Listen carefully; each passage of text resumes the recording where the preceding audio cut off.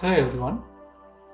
In the last lecture, we had seen what is the preferred series and what are the types of the series and how we can find out the series. So based on that, today we are going to see few problems. So the first problem that we will see So here, first problem, find out the numbers of the R5 basic series and the limit is from 1 to 10. From 1 to 10, we have to find out the R5 series. So, what is the first step? First, we have to calculate the series factor and once we know the series factor for this R5, then we can calculate the series that is from 1 to 10 in between 1 to 10 now for r5 we know already what we are going to do. Take the fifth root of the 10 right? This is the fifth root of the 10 then we will get 1.5849 this is the series factor for this r5 and once you get the series factor then we can calculate the series that is in between 1 to 10 now calculations of the number.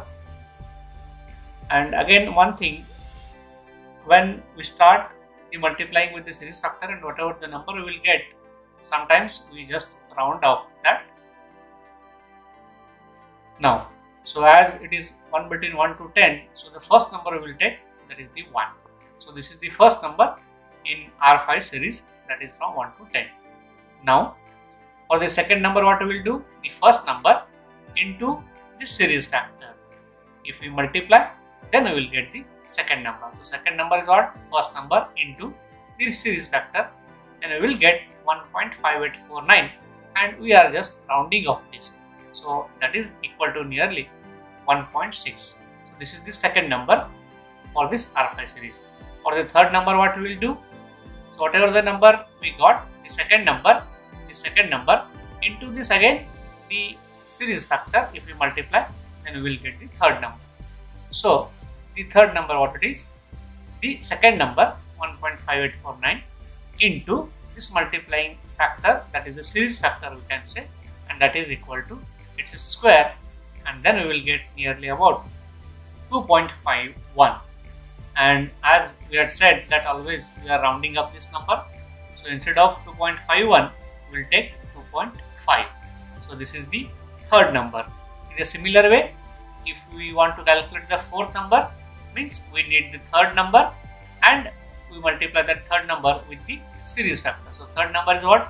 1.5849 it's square that we have taken as it is into the series factor then it becomes its cube then we will get the value 3.98 and that is uh, after rounding off we will get the number it is a 4.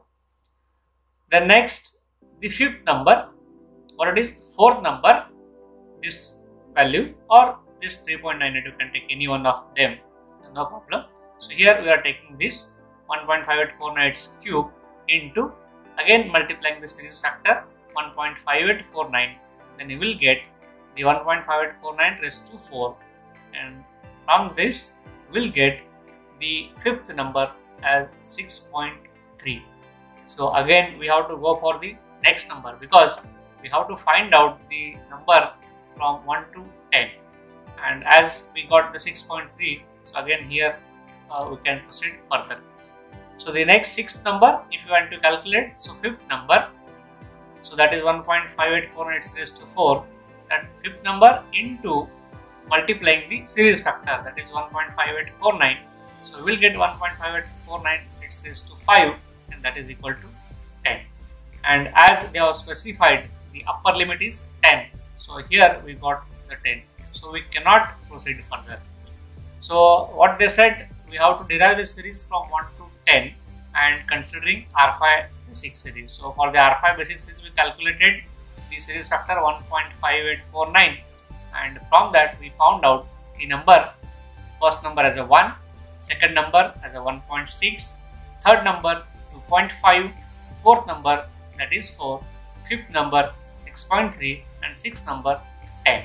So in between 1 to 10 we got 6 different number for this R5 series. Now we will see another one example. So here what it is find out the numbers for R20 series oblique 4 means every fourth term of this series we have to consider and the lower limit is 100 means we have to start from the 100 and uh, in between no limit and upper limit one it is 1000 and derived series we have to find out. The last one what we did that is the basic series. And as this is the derived means we are deriving from the basic series. So this derived series we have to see. So we'll solve. The first step is what? As usual we have to calculate the first series factor. So what is the series factor? Here r20 is the series. Now for this r20 series we have to calculate the first series factor. So what we will get? See the 20th root of the 10 we will take. So from that we will get 1.122 so this is the series factor for this r20 right? Then again here we have to find out every fourth term. So that is the ratio factor we have to find out. If it is a basic series, uh, we go on multiplying directly series factor. But here, uh, for the derived series, we have to find out the ratio factor. And we go on multiplying the ratio factor uh, to find out the numbers. So in the basic, we multiply series factor and in the derived, we multiply the ratio factor. Since every fourth term of this R20 series is selected, the ratio factor phi is given by what it is?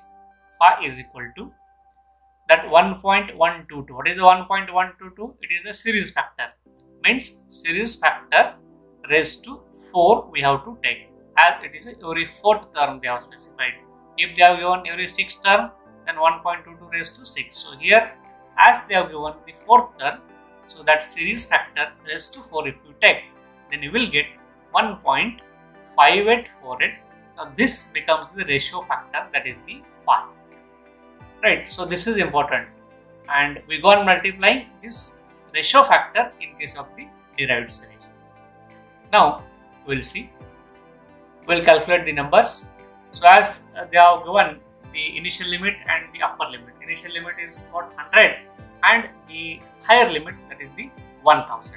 So the first number we will take as it is usual the 100 and if you want to calculate the second number what we will do the first number into that factor here it is the series factor right so 1.5848 that is equal to 158.48 and we are rounding off that then we will get a 160 then next if you want the third number, then 100 into 1.5848. So this becomes what it is?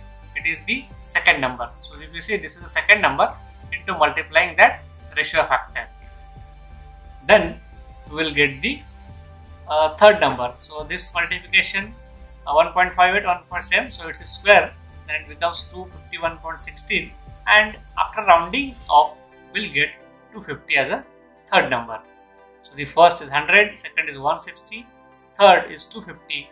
Still we have to go up to 1000. So we'll go for the next number that is the fourth number. What it is? The third number, previous number, this is 100 into 1.58 square. This is the third number and multiply by the factor, ratio factor here. Then it is 1.5848.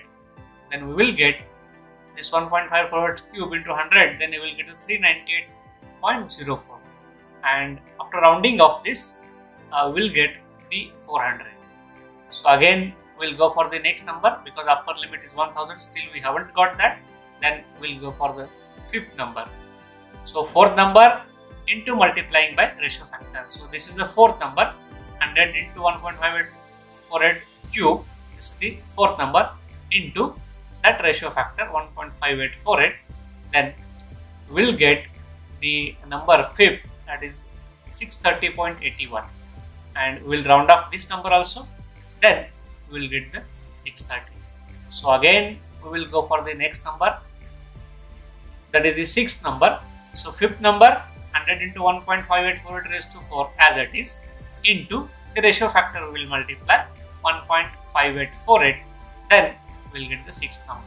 So here sixth number will get 999.71 and if we equate this then we'll get the 1000 as a sixth number. Now we got the upper limit. What they specified the initial is what the lower limit is 100 and the upper limit is 1000. So here we reach the upper limit.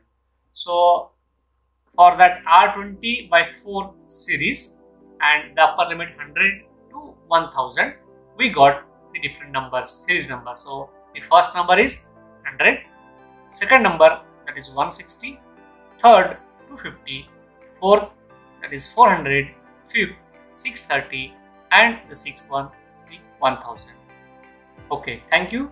Next problem we will see next lecture.